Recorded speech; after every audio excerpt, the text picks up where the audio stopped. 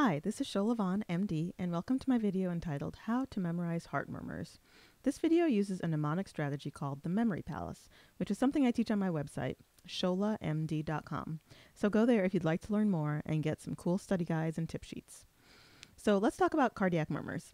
I'm a dermatology resident now, but during medical school, my first organ block of second year was cardiology, and the Cardiac Murmurs Memory Palace was one of my most frequently used palaces. This is very high yield for direct questions on step one, and also for overall clinical picture questions. For example, they won't ask you a question about aortic stenosis or tell you a patient has a history of aortic stenosis. Instead, on boards, they will ask they will describe the findings on physical exam, and you have to use the information about the patient's murmur to answer a related question, like why is this patient having syncopal episodes? So when I took cardiology, how did I approach the material on murmurs? How does a person create a memory palace? Well, step one is to identify the most important information, like I've talked about in my five part study strategy planner. If you didn't watch the video about my five part study planner, drop me an email at info at sholamd.com and I'll send you the link. And sign up for my mailing list so that you don't miss out next time. As part of the first step of my study strategy, I read the course notes before lecture. I created flashcards as I read using Anki, and I did this as I read through the very first time when everything was novel and fresh. Based on the lecture notes, I thought about the broad categories that naturally separate the material, and then based on first aid, I created placeholders. For example, in thinking about heart murmurs, there are two major divisions systolic murmurs and diastolic murmurs. Now, every school's curriculum is different, so there may be things that fit into this category that your professor has decided to leave out of his or her lecture. For example, when I learned about heart murmurs, the lecturer didn't talk at all about patent ductus arteriosus, or PDA, which is both systolic and diastolic. That came later when we did embryology. This is where first aid comes in.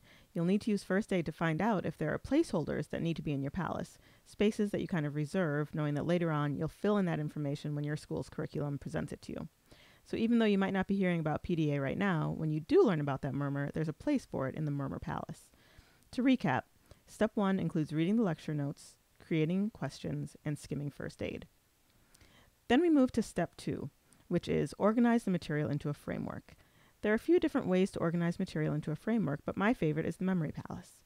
Ask yourself, knowing the number of rooms that I need, what location can I use for this palace? For me, with Murmurs, I used an office building that I worked in right after college. It had two major groups of offices with a bridging area and the right number of subspaces for each murmur. So, going back to this slide, I knew that I would put the systolic murmurs in the corner where the marketing staff used to sit, and the diastolic murmurs over by the conference room. PDA was right between the two in a little room where we kept the promo CDs, because that's a systolic and diastolic murmur. By looking at first aid, I knew I would need five rooms in the systolic area for each of the five identified systolic murmurs, and two rooms in the diastolic area, and then one connecting space for PDA. Um, so I once I had the overall map laid out and knew which room I would use for each murmur, I started to fill in the details. Now it's important to note that all of this is still pre-lecture, so I hit the high yield, things that were in first aid and also in my course notes. So for aortic stenosis, I put five buzzwords into my palace. Crescendo decrescendo, ejection click, pulsus parvus et tardus, SAD, which is syncope, angina, and dyspnea on exertion, and paradoxical splitting. In the memory palace, you make up your own images for these buzzwords. So for crescendo decrescendo, I had my boss, you know, we were working at a music label, so I had my boss turning up and down the music. It kind of worked out perfectly. And as I was doing this, I was documenting everything in Word. It is so important to document your palaces. Make sure you know what each visual trigger is supposed to signify. Otherwise, later on, you'll be asking, you know, why was that supermodel running on a treadmill? Also, when it's time to study for boards, it will be so quick and easy to refresh the knowledge because you've written everything out. Now, I can't tell you my entire palace because I put a lot of inappropriate things in there. Like one of my bosses was kind of an ass. Uh, so that was perfect for aortic stenosis, AS. That went in the boss's office in the corner, which worked out well because it's really the most important murmur clinically, and it got the big corner office. Remember, images work better if they are funny, sexual, or profane, and I would always make my images more outlandish or dirty if I ever forgot them. After a while, some of them are pretty graphic, and that's okay. This palace is just for you. You can make it however you want, as raunchy as you want, as long as it helps you remember the material at test time. So let's go through the rest of the buzzwords that need to be in your palace. So for mitral and tricuspid regurgitation, holosystolic, high pitched, a blowing murmur, rheumatic fever and infective endocarditis, and a brisk carotid upstroke for mitral regurgitation. For ventricular septal defect, also holosystolic, harsh, associated with congenital anomalies like Down syndrome and tetralogy of Fallot. For mitral valve prolapse, late crescendo, mid-systolic click, chordae tendineae, myxomatous degener- degeneration, and Marfan syndrome. For hypertrophic obstructive cardiomyopathy, outflow tract obstruction, autosomal dominant, B myosin heavy chain mutation, Friedreich's ataxia, sudden death in young athletes, and bisferiens pulse. And then for patent ductus arteriosus, which is systolic and diastolic, uh, it's continuous, machine like, associated with congenital rubella or prematurity. Prostaglandins for patency, that's a good one because of the P's, it's easier to remember. And then indomethacin can close a patent ductus arteriosus. And the way I remembered that was window methicin, like you close the window. And then for aortic regurgitation, now that we've moved into the diastolic murmurs, this is high pitched, blowing, decrescendo, has a wide pulse pressure, which is associated with bounding pulses and head bobbing, also bisferiens pulse and Marfan syndrome. And then for mitral stenosis, there's the opening snap, delayed rumbling, rheumatic fever, and Ortner syndrome. Ortner syndrome is kind of a, uh, a zebra, but it's kind of a cool extra thing to know if you ever get um, pimped on it during wards. All right, so remember that uh, as you go through these, the key is to make really vivid images for each of the buzzwords and to put them in the location that you're keeping this group of facts. So all the mitral stenosis facts would be in one area, and you know if you have four images that go along with each of these four buzzwords, they would all be together in that area.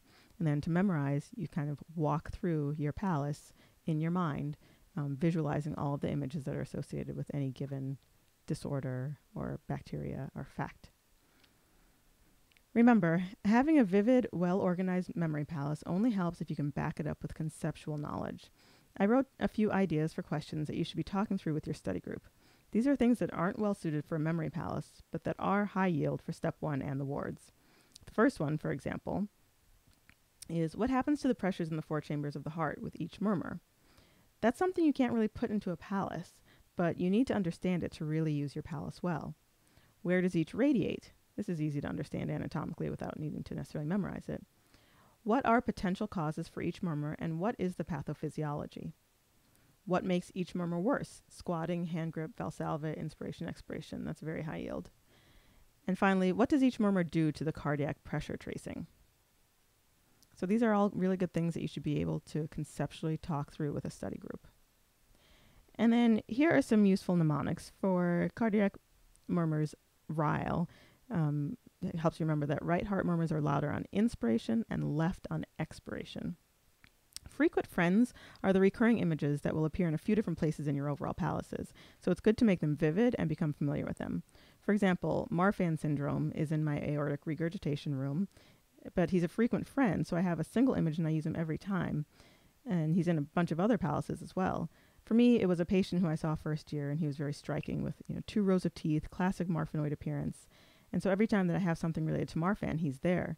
And so it's easy for me to kind of scan my palaces mentally across every organ system and think about where I see him. So aortic regurgitation, MEN 2B, berry aneurysms. And then when I get a multiple choice question on boards that deals with Marfan or has that as one of the answer choices, it's kind of easier for me because I know all the associations. And then finally, here are some practice questions. So I searched online and found a good free online resource for practice questions on cardiology and wrote down just the numbers related to murmurs. If you remember my five part study strategy, practice questions are a key component, so definitely use these.